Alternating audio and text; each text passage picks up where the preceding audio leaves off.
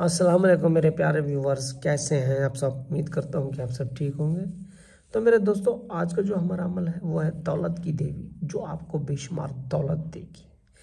शैतानी आरफा परी जो ताकतवर है, जो आपका हर जायज़ नाजायज़ काम करेगी। बाकी इस अमल को मर्द औरतें दोनों कर सकते हैं। मैं तो यही चाहता हूँ कि ये वो लोग करें जो बिल्कुल कर्जदार, बेरोज़गार है चाहे वो लड़का है या लड़की है। लेकिन इससे सेक्स लाजमी करना है। बाकी हाँ आपको ये हाजिर करने में ना कोई साइड इफ़ेक्ट कुछ नहीं होगा, ना ही आपको, ना ही आपकी फैमिली को।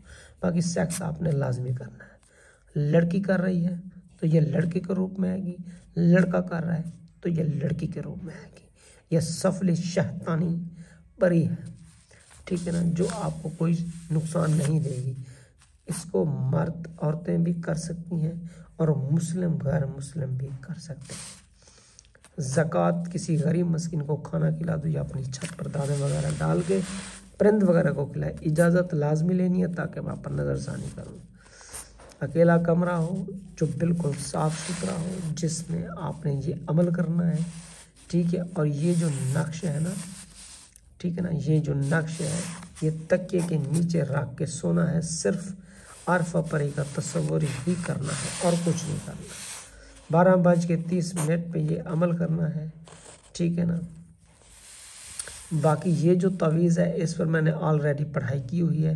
कोई आपको साइड इफ़ेक्ट नहीं होगा, सिर्फ़ आपने इसका प्रिंट करवाना है। प्रिंट करवा के खुशबू परफ्यूम वगैरह अतर वगैरह लगाना है।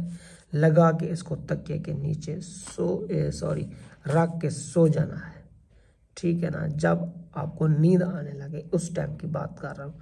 चाहे आप एक बजे सोए, बारह बजे सोए, नौ बजे सोए, सात बजे से सोए छः बजे से सोए, या रात की बात कर रहा हूँ आप। ये फिर अपने तकिए के नीचे रख देना। और ये मेरा व्हाट्सअप नंबर है, अगर कोई बात आपको समझ में ना आ रही हो तो मुझसे पूछें ताकि आपसे कोई गलती ना हो। हमारे इस यूट्यूब चैनल को सब्सक्राइब करें लाइक करें शेयर करें, ताकि आने वाले नोटिफिकेशन आपको जल्दी मिलते रहे। मैं इजाज़त चाहता हूँ। खुदा हाफिज़।